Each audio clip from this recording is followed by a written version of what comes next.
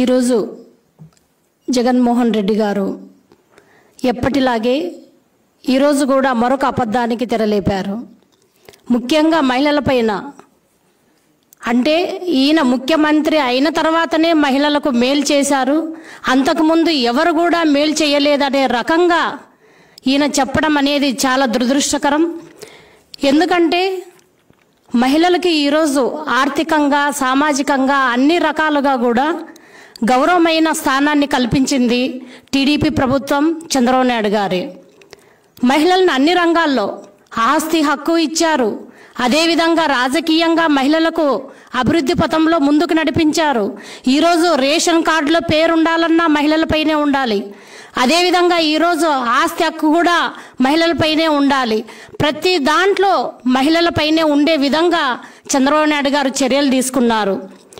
డ్వాక్రా గ్రూపులు నిజంగా డ్వాక్రా గ్రూపులు అనేది ప్రపంచంలోనే నెంబర్ వన్ ఆంధ్రప్రదేశ్లో ఉండే మహిళలు అంతవరకు భర్తతోనూ అదేవిధంగా అత్తమామలో తల్లిదండ్రులు ఇస్తే తీసుకుని డబ్బులు వాడుకునే ఒక మహిళలు చంద్రబాబు నాయుడు గారు పెట్టినటువంటి డ్వాక్రా పథకాలను ఉపయోగించి వాళ్ళే స్వాలంబన ఆర్థిక స్వాలంబన కోసం వాళ్ళు ఎన్నో రకాలుగా ముందుకు నడిచారు.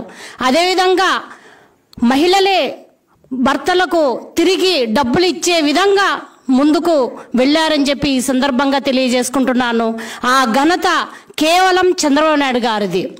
ఈరోజు జగన్ గారు ఒక హామీ నలభై ఐదు సంవత్సరాలకే ఎస్సీ ఎస్టీ బీసీలకు మేము పెన్షన్స్ ఇస్తామని. అది తుంగలో దొక్కేశారు. దాన్ని సంవత్సరానికి పద్దెనిమిది వేల రూపాయలలాగా దాన్ని కూడా ఒక మాట తప్పి మడమ తిప్పే విధంగా కూడా చేశారని చెప్పి ఈ సందర్భంగా తెలియజేసుకుంటున్నాను. అదేవిధంగా డ్వాక్రా సంఘాలకు సున్నా వడ్డీకే పది లక్షలు పెంచుతామని పాదయాత్రలో మహిళలందరికీ తలపైన చేతులు పెడుతూ బుగ్గలపైన ముద్దులు పెడుతూ వాళ్ళకందరికీ ఒక హామీ ఇచ్చి తరువాత చంద్రబాబు నాయుడు గారు ఇచ్చినటువంటి ఐదు లక్షలు కూడా ఇవ్వకుండా కేవలం మూడు లక్షలు ఇచ్చే వాళ్ళకు ఇరవై వేలు ర- మోసం చేశారని చెప్పి ఈ సందర్భంగా తెలియజేసుకుంటున్నాను. అంటే ఒక్కొక్క మహిళకు టీడీపీ ప్రభుత్వ హాయంలో నా యాభై వేల రూపాయలు లబ్ధి పొందగా ఇప్పుడు వైఎస్ రాష్ట్ర జగన్మోహన్ రెడ్డి గారి పాలనలో కేవలం ముప్పై వేల రూపాయలు మాత్రమే ఆర్థికంగా లబ్ధి పొందుతూ ఇరవై వేలు యగనామం పెట్టారని చెప్పి ఈ సందర్భంగా తెలియజేసుకుంటున్నాను. తర్వాత మరొక ముఖ్యమైన ఎస్సీ ఎస్టీ బీసీ మైనారిటీలకు పెళ్ళి కానుక. ఇంతకుముందు టీడీపీ హయాంలోన చంద్రబాబు నాయుడు గారి నాయకత్వంలో చంద్రన్న పెళ్ళి కానుక అని చెప్పి మనం ఇచ్చాము. కానీ ఈ మూడున్నర సంవత్సరాల కాలంలో ఈ పెళ్ళి కానుక అనేది పథకాన్ని స్టాప్ చేసి ఇప్పుడు ఎలక్షన్లు వస్తున్నాయి కదా అని చెప్పి హడావుడిగా వైఎస్ఆర్ పెళ్ళి కానుక కళ్యాణమస్తు పథకానికి కొన్ని ఆయన అభ్యంతరాలు పెడుతూ దీనికి అర్హతలు ఏమంటే అమ్మాయి అబ్బాయి ఇద్దరు ఖచ్చితంగా టెన్త్ క్లాస్ పాస్ అయి ఉండాలి. అదేవిధంగా గ్రామాల్లో ఉండేవాళ్ళు పదివేల రూపాయలు పట్టణాల్లో ఉండేవాళ్ళు పన్నెండు వేల రూపాయలకు ఆదాయం మించకూడదు. నెలవారీ విద్యుత్ వాడకం మూడు వందల యూనిట్లకు మించకూడదు అని చెప్పి వాళ్ళు కొన్ని అర్హతలు పెట్టారు. మేం ఇక్కడ మేం క్వశ్చన్ చేసేది ఏంటంటే జగన్మోహన్ రెడ్డి గారు మీ గవర్నమెంట్లో ఎనిమిదవ తరగతి పదవ తరగతి చదివిన వారికి మీ ప్రభుత్వంలో మంత్రులుగా పనిచేసేందుకు అవకాశం ఇచ్చారు. ప్రజలను పరిపాలించాల్సిన మీకే ఎలాంటి విద్యార్హతలు అవసరం లేదు. కానీ అదే సామాన్యుడికి ప్రభుత్వ పథకాలు అందాలంటే మాత్రం విద్యార్హత కావాలనా? ఇలా సవాలక్ష నిబంధనలు పెట్టి ప్రజలను మభ్యపెట్టడం మీకు వన్నెతో పెట్టిన విద్య. మాది సంక్షేమ ప్రభుత్వం అని నిత్యం గొప్పలు చెప్పుకునే తిరగడం తప్ప మీ వల్ల జరిగేది లేదని ఆంధ్రప్రదేశ్ ప్రజలు ఎప్పుడో గ్రహించారు. ఈరోజు ఎస్సీ ఎస్టీ బీసీ మైనారిటీలు చాలామంది కూడా ఏజెన్సీ ఏరియాలో అయితేనేమి కొన్ని చోట్ల ఇతర ప్రాంతాల్లో కొంతమంది పదో క్లాసు కూడా చదువుకోలేని పరిస్థితులు ఉంటాయి. అంటే అట్లాంటి వాళ్ళకి ఈ కళ్యాణమస్తు పథకం అమలు కాదు కదా? అంటే కేవలం మీ ఉద్దేశం ఏంటంటే పథకాలు పెట్టాలి. ఆ పథకాలు కూడా కొంతమందికే కావాలి. కొంతమంది లబ్ధిదారులకే వెళ్ళాలనే ఒకే ఒక దురుద్దేశంతోన ఈ పథకాలు పెట్టి మీరు పేద ప్రజలని మోసం చేస్తున్నారని చెప్పి ఈ సందర్భంగా మేము తెలియజేసుకుంటున్నాం. అదేవిధంగా ఈరోజు కుప్పం గ్రామంలో కుప్పం నియోజకవర్గంలో మీరు మాట్లాడుతూ బీసీలకు టీడీపీ పార్టీ ఏమీ చేయలేదు. బీసీలను రాజకీయంగా కానీ ఏ రకంగా కానీ ముందుకు తీసుకురాలేదని చెప్పి మీరు చాలా గొప్పగా చెప్పారు. అయ్యా జగన్మోహన్ రెడ్డి గారు ఈరోజు నేను అదే బీసీనే ఇక్కడ మేము కూర్చొని మాట్లాడుతున్నాము.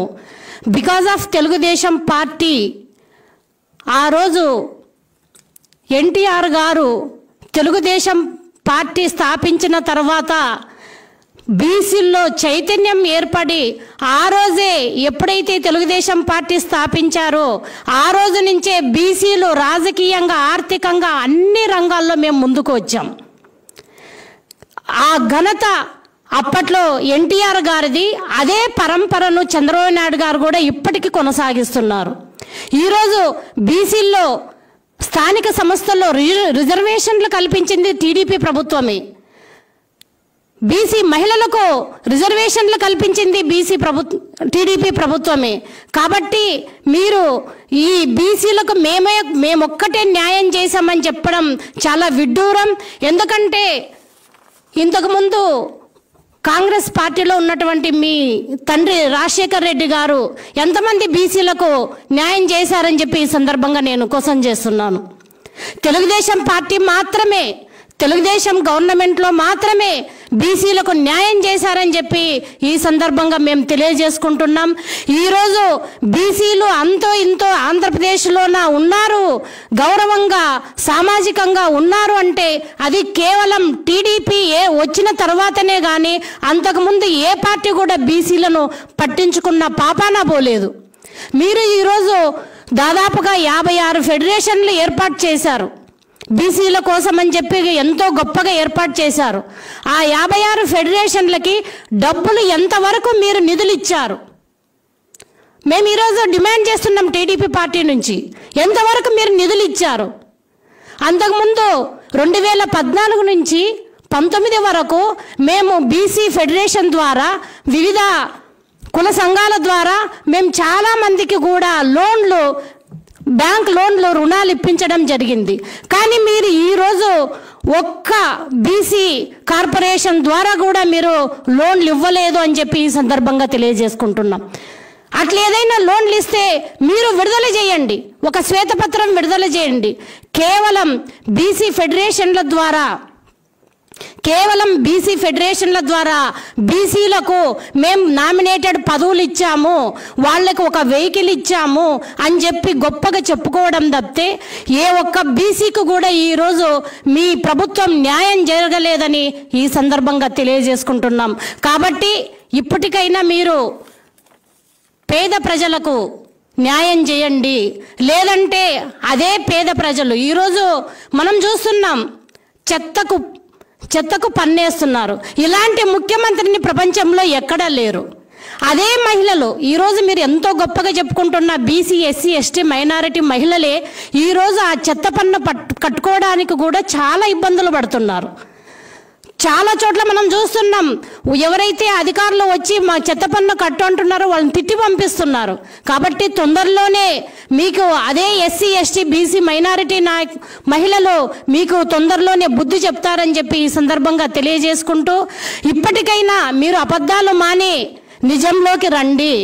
చూడండి మీరు కుప్పంలో ఈరోజు పర్యటన చేసినట్టు గుడారాలు కట్టుకొని ఏమి చూడకుండా అభివృద్ధి లేదనడం విడ్డూరం. మీరు గుడారాలు కట్టుకోకుండా పోయింటే మా చంద్రబాబు నాయుడు గారు అక్కడ ఎంత అభివృద్ధి చేశారో చూసిండే వాళ్ళు. మీరు అవేమి పట్టించుకోలేదు. కేవలం గుడారాలు కట్టుకొని ఒక దారిలో వెళ్ళారు. కాబట్టి మీకు అభివృద్ధి కనిపించలేదు. ఇప్పటికైనా మీరు కళ్ళు తెరవండి. ఈరోజు ఏం జరుగుతుంది రాష్ట్రంలో అనేది కళ్ళు తెరిచి చూసి మరింత మెరుగైన పాలన అందించాలని చెప్పి ఈ సందర్భంగా తెలియజేసుకుంటున్నాను.